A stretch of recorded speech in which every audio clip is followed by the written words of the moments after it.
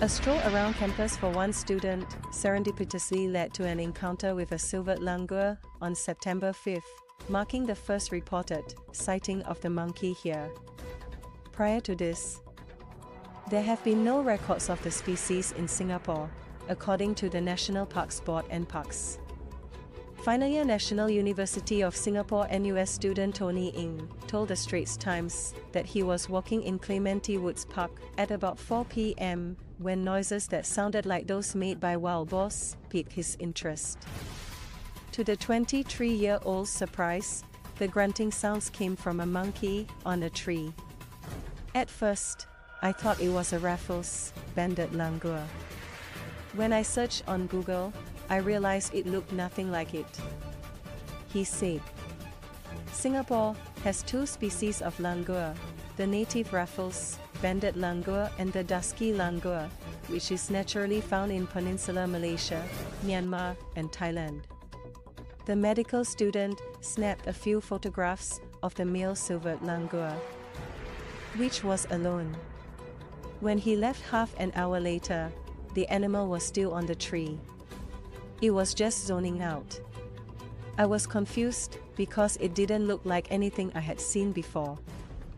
Said Mr. Ng, primatologist Andy Ong, said the leaf-eating monkey belongs to one of two species of silvered langur, which get their name from their shimmering gray furs under the sun. The langur could either be Trachypithecus selangorensis native to the forests of West Malaysia or Trachypithecus cristatus, found in Sumatra, Batam, Bintan, and Borneo, added the head of primate conservation and Singapore programs at Mandai Nature. The conservation arm of Mandai Wildlife Group. It is improbable that this langur is an escape pet, since the monkey is an adult male that appears to be healthy, said Dr. Ong, who also chairs the Raffles Banded Langur Working Group set up in 2016 to save the critically endangered local monkey. Silvered langurs are traded in the pet market, but usually these are their juveniles or orange-furred babies that do not do well under human care to survive until adulthood, she said. It is also normal for male langurs to search for new groups, so it is not unusual to see an adult male moving alone. It is more likely that the monkey arrived as a stowaway on a ship or swam from Indonesia. She added. Silver langurs are known to swim pretty well.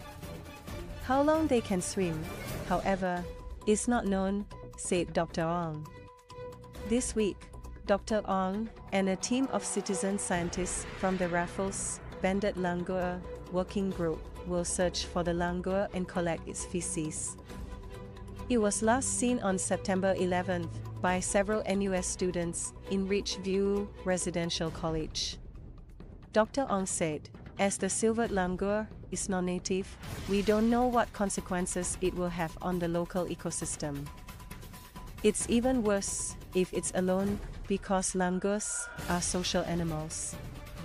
If it manages to find its way to the Central Catchment Nature Reserve, it might even endanger native Raffles, banded langurs, as the silvered langur is generally larger in body size.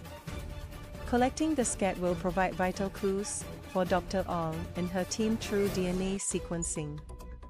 The two species of silvered langur are virtually indistinguishable outwardly, so knowing the genetic identity of the langur would help scientists understand which location it came from. She said. Mr. How Choon Beng, NParks Director of Wildlife Management and Outreach, said the statutory board is aware of the sighting and will work with nature groups to monitor and assess the langur's behavior. He said, the silvered langur is generally shy and is not likely to approach humans. Members of the public are advised not to approach or feed the animal.